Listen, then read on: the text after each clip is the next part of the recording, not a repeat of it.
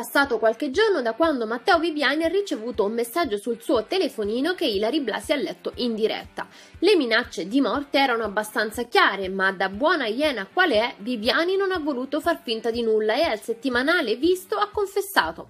Chi si nasconde nell'anonimato è un vile. Io continuo con tutte le inchieste che ho in corso. Sembrano così cadere nel vuoto le parole minatorie di Mr. X, che molto probabilmente si riferiva ad un servizio firmato da Viviani su pesantissime avanza ad una ragazza operate dai frati cappuccini minori di San Giovanni Rotondo. Nonostante la volontà di continuare a cercare la verità, Viviani ammette: Io vado dritto per la mia strada, ma ho paura per mia figlia e mia moglie.